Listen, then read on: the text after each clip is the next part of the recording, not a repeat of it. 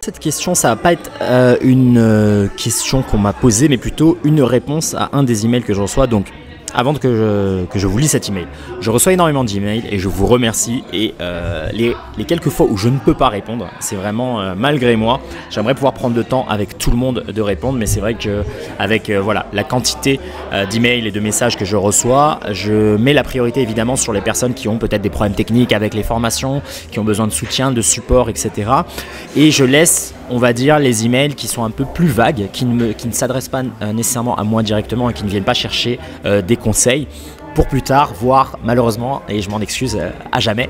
Mais voilà, je vais prendre l'opportunité là de ces foires aux questions pour répondre même à ces, ces messages que je reçois, qui ne sont pas vraiment des questions, mais qui sont simplement des gens qui partagent leur expérience de vie et que moi je note assez souvent comme étant des idées possibles pour des questions. Donc là, je vais essayer d'aborder un de ces emails, un email de Bruno qui me dit Bonjour mon cher Slim, je réponds à ton article sur la récupération, très intéressant comme d'habitude. Le problème que j'ai toujours eu, même pour des entraînements pas trop intenses, pour mon modeste niveau naturellement, c'est d'avoir le plus de courbatures le surlendemain et non le lendemain. Du coup, difficile de m'entraîner un jour sur deux, alors que c'est classique dans les programmes de muscu, euh, même si c'est pas pour les mêmes muscles. J'ai fait quelques années de taekwondo, de krav maga, plus muscu avec tennis de table maintenant. Un autre problème très ennuyeux pour moi, c'est de pouvoir dormir quand l'entraînement se termine à 22h. Ça se termine souvent par une nuit presque blanche et je me demanderais, après avoir écouté le podcast avec ton ami cascadeur, si le pistolet de massage pouvait être une solution à ces deux problèmes. En tout cas, un article complet sur la récupération m'intéresserait beaucoup. Bien amicalement, Bruno. Bruno, une très très belle euh, question et euh, plusieurs ouvertures. Donc, la première chose sur laquelle j'aimerais rebondir, avant de te donner ma réponse sur les pistolets euh, de massage, les fameux Terragun, c'est le côté euh, quand tu dis voilà le problème que j'ai toujours eu, c'est des, courbatures le surlendemain. Alors ça, ça va être très très simple à élucider. J'espère apporter de la clarté pour toutes celles et ceux qui euh, ressentent encore des courbatures le lendemain, le surlendemain, quelques jours après quand vous vous entraînez. Alors. Euh, vous pouvez aussi faire référence à euh, la conférence de mon ami Pierre Dufresne pour le sommet du mouvement et de la santé holistique, dans lequel il parle d'antifragilité. Et avant ça, il parle un peu du cycle euh, de- d'expérience intense suivi d'un temps de repos adapté qui permet une adaptation positive, un stress, un stress hormétique, même s'il n'aime pas le mot de stress hormétique, je le sais, mais je le taquine un peu avec ça, qui nous apporterait une adaptation euh, vers le haut et donc une amélioration.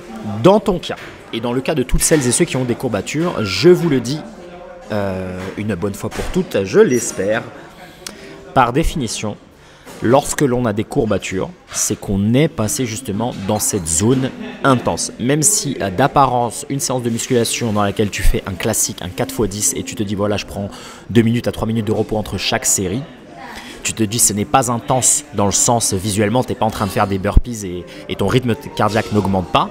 Mais si le lendemain tu as des courbatures, c'est la preuve que pour ton corps, c'est intense. Tu es déjà passé dans une zone intense. L'intensité ne veut pas dire nécessairement la vitesse d'exécution, l'accélération, le côté explosif.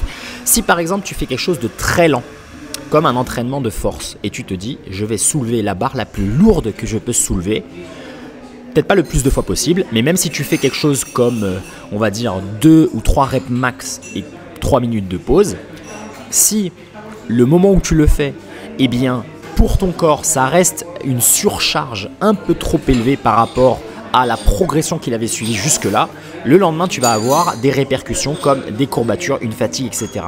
Qu'est-ce que ça veut dire? Ça veut dire que ton corps, il est en train de t'indiquer que ce test que tu as fait, c'est-à-dire ce mode d'entraînement avec cette charge à soulever, pour lui, il l'a ressenti comme quelque chose d'excessif par rapport à son état d'équilibre.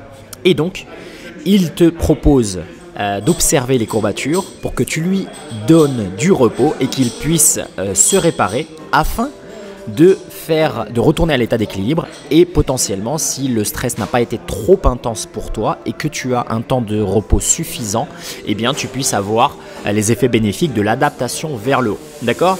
Donc même si pour toi tu t'observes et tu te dis bah non, ça n'a pas l'air très intense, je suis pas en train de me cramer la gueule, si tu as des courbatures, c'est que tu es déjà passé dans l'intensité.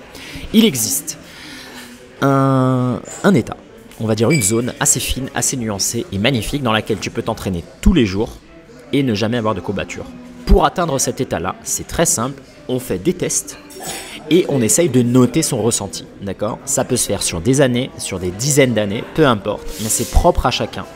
Si toi tu t'entraînes à un moment donné et que le lendemain tu n'as pas de courbature, c'est que l'entraînement que tu viens de faire, il a été pas nécessairement le plus utile parce que si ça se trouve en fait tu n'as rien fait, tu as procrastiné et donc c'était trop facile et donc à toi d'augmenter la difficulté. Et si tu sais pas encore bien te jauger, eh bien tu démarres par le bas quoi, tu démarres par quelque chose de facile, tu regardes le lendemain. Est-ce que je me sens mal, plus fatigué, est-ce que j'ai des courbatures, est-ce que j'ai une nuit de sommeil difficile? Et après tu augmentes l'intensité jusqu'à voir ah bah voilà, après, je sais pas moi, après avoir fait ce type d'entraînement, j'ai des courbatures pendant deux jours, c'est que ce type d'entraînement, il a été trop intense. Eh bien, je vais réduire. Je vais réduire la charge, je vais réduire le volume, je vais réduire euh, l'intensité, je vais réduire un des paramètres et jouer avec ça pour essayer d'atteindre euh, cet entraînement ultime qui est je suis quand même en train de me challenger, mais sans passer dans la zone rouge. Tu veux être à la frontière et passer légèrement de l'autre côté et t'offrir suffisamment de repos pour pouvoir t'adapter. Si par exemple tu as un mode de vie dans lequel tous les autres paramètres, on va dire, sont assez stables, le rythme du travail, le, niveau de stress, euh, le rythme familial, tu as une bonne récupération avec le sommeil qui est toujours à peu près aux mêmes heures, etc. Tu peux te permettre de faire une variation, par exemple, sur ton entraînement. Typiquement, moi, c'est mon cas personnel l'entraînement, c'est une des variables sur laquelle je peux jouer quasiment autant que je veux parce que le reste des autres paramètres de ma santé, alimentation, sommeil, etc., ils sont plutôt fixes et plutôt réguliers. Si par exemple je me dis aujourd'hui j'ai envie de me mettre un tarif à l'entraînement, je me mets un énorme truc, on va dire je me, j'y vais vraiment pleine balle, le sommeil va toujours être réglé à la même heure et je, connais la qualité de mon sommeil, eh bien je vais voir le lendemain. Le lendemain, si ça m'a pas épuisé, si j'ai pas de courbature, eh bien c'est qu'au final, je peux m'entraîner comme ça. Mais par contre, le jour où je veux m'entraîner comme ça, mais je sais que par la suite, eh bien, je sais pas, je dois prendre un train, ou bien j'ai déjà eu avant cet entraînement, j'ai déjà eu un stress avec euh, ma famille, avec des amis, etc il faut que je réduise l'intensité de ce jour-là. D'accord? Donc c'est toujours des jauges avec lesquelles tu dois t'amuser et tu dois être euh, en permanence, tu dois faire ce va-et-vient entre ce que je pense euh, être intense, la réalité physique que j'observe, c'est-à-dire les courbatures, euh, les maux de tête, euh, la fatigue, la baisse d'énergie, etc. Et les paramètres que j'ai modifiés. Si par exemple tu changes l'intensité de ton entraînement et qu'en même temps tu changes l'alimentation et qu'en même temps tu changes le sommeil, tu vas jamais pouvoir t'analyser correctement et savoir quel a été le paramètre qui a eu le plus d'impact ou quel, quel a été le paramètre qui t'a proposé ou qui t'a causé pardon, cette fatigue, ces courbatures, etc. D'accord? Donc quand tu vois des programmes par exemple de musculation qui te disent un jour sur deux en alternant les groupes musculaires pour éviter la fatigue, c'est sous-entendu, même si personne ne l'explique et personne ne le dit parce que euh, peut-être qu'ils le savent pas ou peut-être qu'ils le, savent mais qu'ils le disent bon là c'est pas important de le partager alors que c'est ultra important, c'est sous-entendu tout le reste de ta vie il est réglé. D'accord? T'as le même, le, le même niveau de stress, euh, t'as le même niveau émotionnel, etc. Mais ce qui n'est pas le cas. C'est-à-dire que moi je peux te donner un programme où tu vas t'entraîner tous les trois jours et tu vas quand même avoir des courbatures. Parce que si ça se trouve, le reste, euh, comme toi tu le mentionnes euh, juste après dans l'email, le reste des autres paramètres, le sommeil par exemple, s'il est complètement foutu, peu importe ce que tu fais à l'entraînement, le lendemain tu vas être cramé, tu vas être fatigué, etc. Parce que c'est dans la phase du sommeil qu'on a la récupération et l'adaptation vers le haut. D'accord? C'est ce, temps de repos adapté euh, à ce stress que tu t'es causé. D'accord? Donc, pour en revenir à ta question, enfin, à, ce que toi tu me partageais comme étant les courbatures le, surlendemain, le problème n'est pas la pratique. Le problème, c'est toujours le pratiquant. C'est à toi de voir ce que tu t'imposes et de réduire ça et de faire ce, cette, euh, ce raisonnement humble et enlever son ego et de se dire au final, moi, ce que je pensais ne pas être intense, pour mon niveau final, c'est intense. Donc c'est à moi de euh, diminuer mon standard. Je pensais que j'avais ce niveau et en fait j'ai un niveau amoindri. Et plus tu es clair et limpide avec ça, plus tu vas te, euh, te pousser vers le haut parce que tu vas savoir quelle est ta ligne de départ, d'accord? Quelle est ton, ta baseline. Et à partir de cette baseline, tu vas pouvoir augmenter incrémentalement, tout doucement, euh, le fameux Kaizen, 1% de mieux chaque jour, vers tes objectifs, que ce soit le gain de force, l'hypertrophie, peu importe, d'accord? Ça pour moi ce serait la meilleure manière d'aborder euh, la partie physique et encore une fois j'insiste parce que c'est le plus important. Regardez les autres paramètres et en particulier le sommeil. D'accord? Le sommeil, sans un bon sommeil récupérateur, de toute façon, rien ne va fonctionner. Et ça fait la transition parfaite pour la deuxième partie euh, de ton message, Bruno, quand tu parlais euh, justement de cette difficulté à dormir. Si tu t'entraînes déjà le soir, et que l'entraînement se termine à 22h, il n'y a pas de formule magique. Donc oublie ton Terragun. Le Terragun ne va jamais t'aider à avoir un bon sommeil si euh, tu termines ta pratique physique à 22h. Ça n'existe pas. D'accord? Donc tu peux pas espérer qu'un pistolet de massage puisse fixer un, un déséquilibre, un hormonal, c'est peut-être un, mot un peu violent, mais je vais t'expliquer la chose euh, suivante. C'est que si tu t'entraînes le soir, tu es en train de demander à ton corps de fournir un effort physique en dehors de ce que le corps de toute façon attend à partir du coucher du soleil, qui est un retour au calme. Tu vois, euh, on, a, on, a, on enlève, tu vois, la cortisol, on commence à, préparer les hormones euh, pour le sommeil.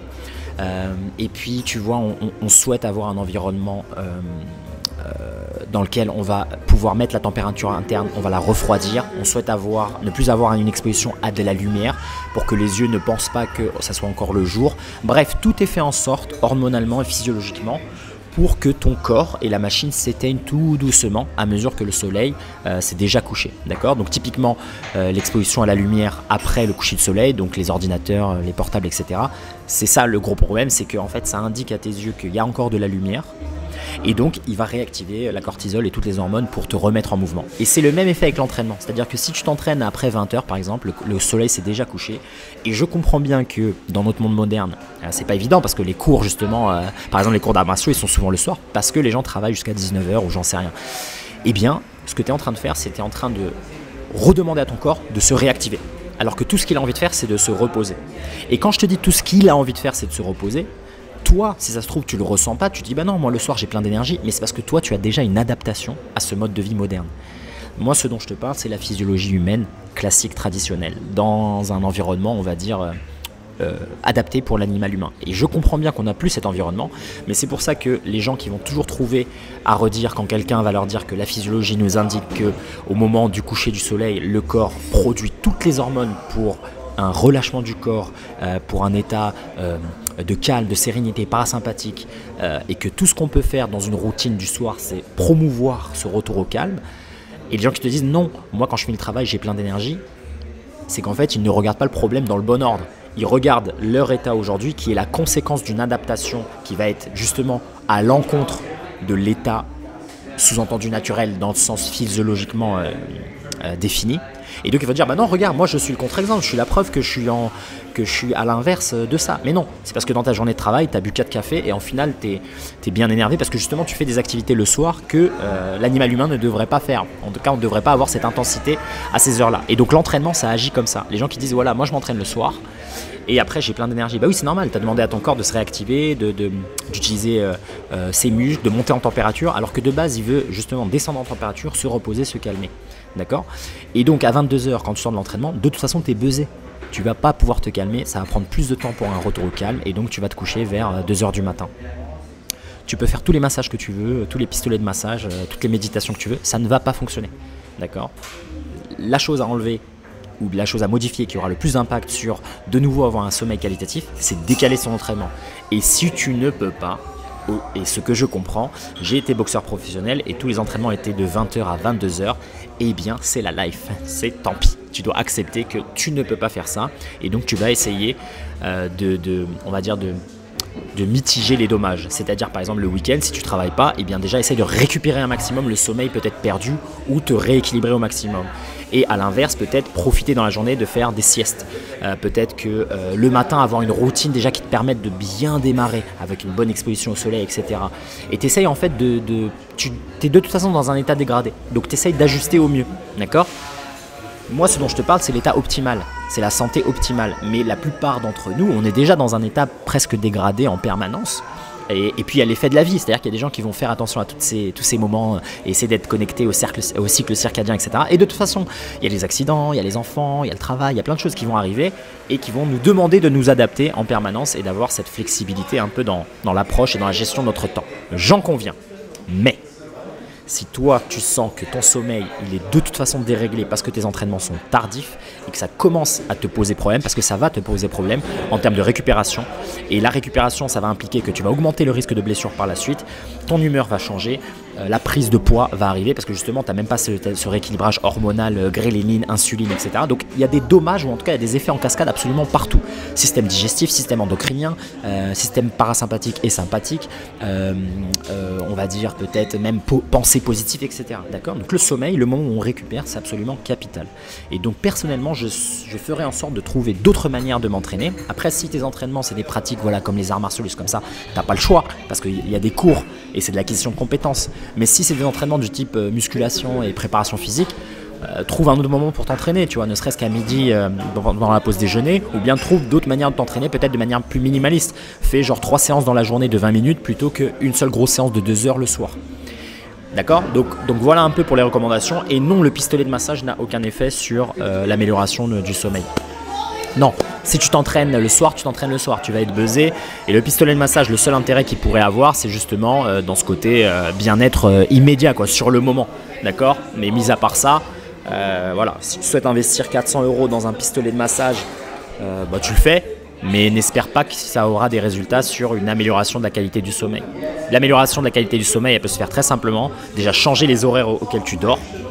Améliorer peut-être une routine euh, pré-sommeil, tu vois, dans lequel déjà tu vas éviter les, lumières des écrans peut-être une heure et demie avant, deux heures avant. La digestion surtout, donc éviter de manger genre une heure avant le sommeil. Ça, ce sont des, éléments qui vont avoir largement plus d'impact sur la qualité de ton sommeil et le fait que le sommeil soit réparateur plutôt que le pistolet de massage. D'accord? Si tu manges des sneakers, tu joues à la PS4 ou tu regardes Netflix, tu peux faire 5 heures de pistolet de massage, dormir à 2 heures du matin, ça va toujours pas marcher. Voilà, j'espère que ça va t'aider. J'espère que ça va aider pas mal de gens qui se posent des questions sur le sommeil. Et si jamais vous avez d'autres questions sur le sommeil, je prépare moi des épisodes. Je vous en avais parlé. Euh, il y a quelques temps déjà, peut-être un mois et demi, je prépare des épisodes un peu exclusifs euh, que j'ai appelé Movers Lab, le laboratoire des movers dans lequel je vais pouvoir euh, m'exprimer seul, euh, un peu comme dans ces foires aux questions, dans lequel je vais essayer de parler en détail de tous ces aspects de la santé holistique, hein. la pratique physique, la récupération, le sommeil, l'alimentation, etc. Ça marche, donc je vous donne des nouvelles là-dessus. stay tuned.